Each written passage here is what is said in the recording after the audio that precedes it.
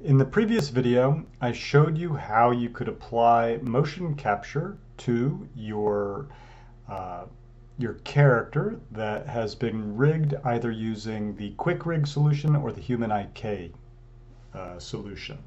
So here we have the character and the character is uh, doing a flip What I want to show you in this video is how you can do a very quick and easy render of your character so that you actually have a video file of this. Now, there are more advanced ways to uh, rig, but what we're going to be looking at is a very simple solution called a play blast. So, um, first thing I would do is set the size for my video. And to do that, I am going to go to my render settings found here. And I'm going to select from the presets the 720, uh, HD 720 uh, setting, which will render out a video at uh, 1280 pixels uh, width and 720 height. And I will close. The other thing is I actually don't know where the borders are for my render. So uh, to figure that out, I'm going to click on this button here in my viewport, which will show me the actual borders of my render. And then this will allow me to position it, scrub in my timeline, make sure nothing gets cut out, make sure that it is uh, in a scene that is well composed. I think this looks good. Nothing's getting cut out. So we'll render it from there. Uh, the second thing I'd like to do actually is figure out what uh, number of frames I want to render out. So you can see that if I scrub in my timeline, uh, once I get past, oh, frame, looks like around frame 124 or so, uh, there is no longer any movement in there, so it doesn't make any sense necessarily to uh, render beyond that. So I'm going to set my timeline here. I'm going to set it to uh, 124.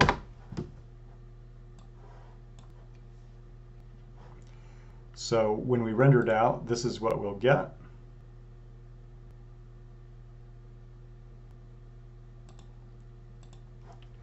Couple other things. I have already put a light in my scene, so I'm going to press 7. If you have the uh, grid showing, like this, I would hide the grid. Uh, because in fact, a play blast is going to more or less render exactly what you see in your viewport. So I don't want to see these joints. I do not want to see the grid. So I'm going to go to show, none, and then show polygons so that I'm only seeing polygons in my in my scene here and I'll also go to show and hide the grid like that. Now once you've determined the borders of your render here I recommend going back to uh, this button here and clicking on it uh, so that you actually don't see the borders here because it's going to render them. It looks like I'm going to need to click this other button as well, this one here. We've set the borders, uh, so now we can go ahead and create our play blast. So to create the play blast, what I'm going to do is right click in my timeline here. Go to play blast and open up its tool settings found here. We'll look at a couple different settings here. Uh, let me go ahead and reset this so that it's back to its default settings, more like what you will probably see when you initially try to create a play blast. And I'll show you some of the settings I would change. So one setting I would change would be this one here. We're going to leave this at format AVI. Uh, we can keep the quality at the default of 70 for now. The display size is set at from window. You'll get better results if you select from render settings. That will take the render settings that we applied earlier uh, when we went to the render settings, the, the size of our render, in other words. Another setting I would change would be this one, scale. It's at 50%, so it's actually only going to render it out, out at half the size. So I'm going to scrub this all the way over here so that it scales it at 100%. 1, in other words.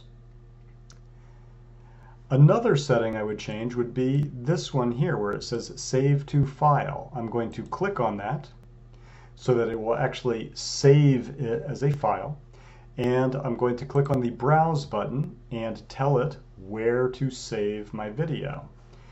Uh, to keep this easy, I'm going to go ahead and just save it to my, de my desktop. And I'll call this flip.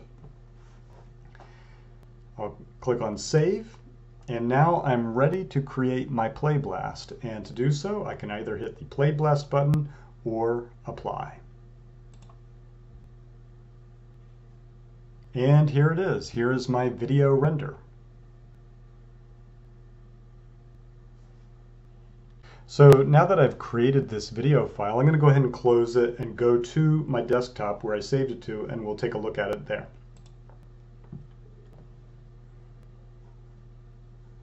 So here we are on my desktop. Here is the video that I saved. Uh, I can open it up by clicking, right-clicking on it, open with, Windows Media Player. Uh, we can take a look at it. It plays just fine. Uh, but one thing I'd like you to take note of is the actual size of this render. So if I right click on it and go to properties, uh, you'll see that this is a very large file, especially for as short a video as it is.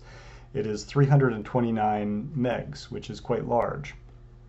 I'm going to show you a very quick and easy way to uh, bring down the file size of this video while maintaining a good quality. So if you're using Windows 10 as I am here, uh, there's a program that comes free with the operating system called Video Editor. And I'm going to open up Video Editor and I'm going to start a new video project. I'll give it a name. In this case, I'll just call it flip. And I'm going to add that video that I just saved. Here it is. I'll open that up and I'm going to drag this video into my storyboard. And now, well, we can play it beforehand, just make sure everything looks okay. And now I'm going to click on Finish Video. I'll keep the video quality on high, export, and we'll tell it where to save it to. I'll go ahead and just uh, keep the same name, flip, and I'll export it out. And it's completed.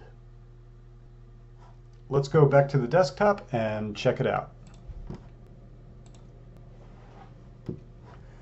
So here's my new flip video. Uh, let's compare these two. This one, the original one, is 329 megs. This one, on the other hand, is only 927 kilobytes, so it's considerably smaller.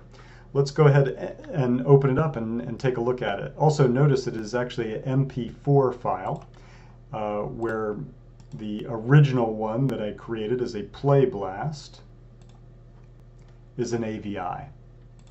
So we'll take a look at this MP4. Once again, I'll open it up using Windows Media Player. And here it is.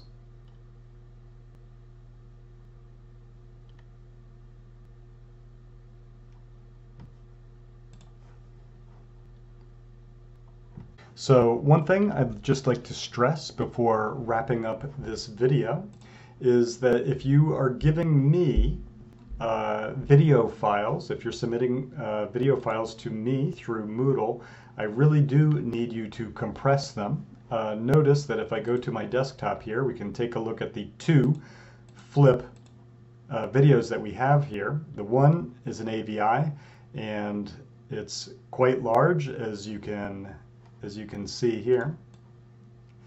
Uh, this other flip, which is an MP4, looks quite good, but the file size is considerably smaller, which will make it much easier for me to uh, download. It'll also make it easier for you to upload. So I hope that this video has been informative for you and thank you for watching.